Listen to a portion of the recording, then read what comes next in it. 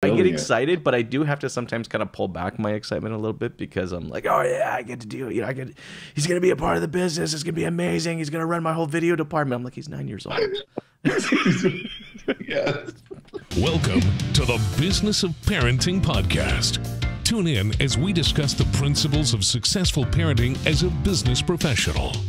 Here's your host, Jason Harris. Bringing kids into the business, I think, is incredibly important. It definitely supports kind of our previous topics around work life balance, you know, letting the kids see what happens and what is the business you know it makes them connected. There's so many things to it. And then of course it promotes more routine. But i'd love to kind of hear how, how you've kind of executed on bringing the kids into the business. Yeah.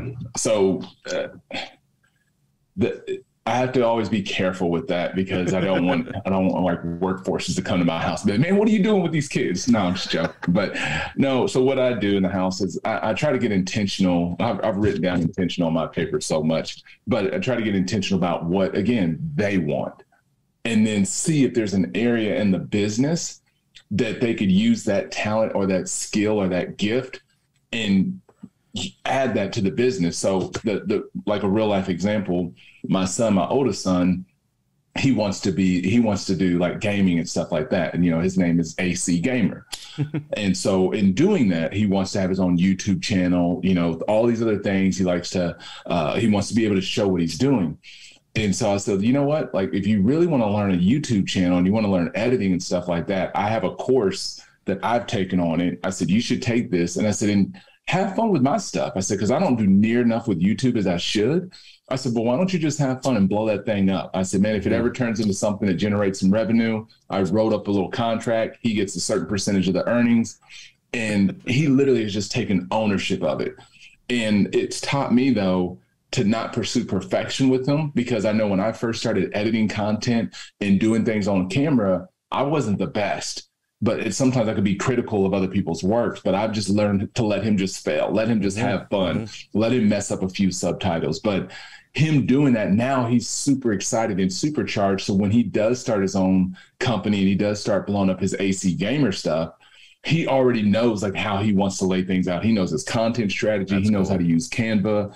And I think that's cool. So just making sure that what I would tell any parent that's that's looking at bringing either their spouse or their kid is we a lot of times again we focus on what we need to help our business but they might not be the person that helps us with that need but there could be something that's in their skill set that they could bring to the business that we didn't even think like oh my gosh like this person's a genius. Like he can he or she can really help me out.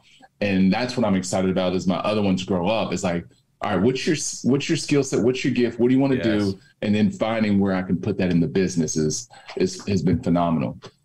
You know what? And it's fun.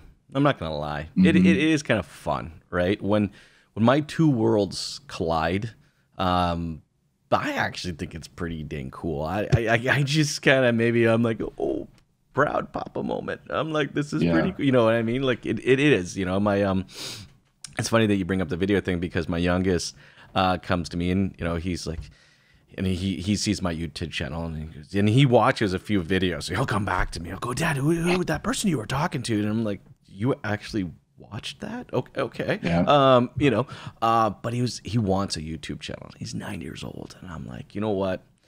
Um, I'll make you a deal. All right. If you learn how to put together and edit 20 videos right? Then we'll open a YouTube channel, but only if yes. you can execute on 20 videos first, right?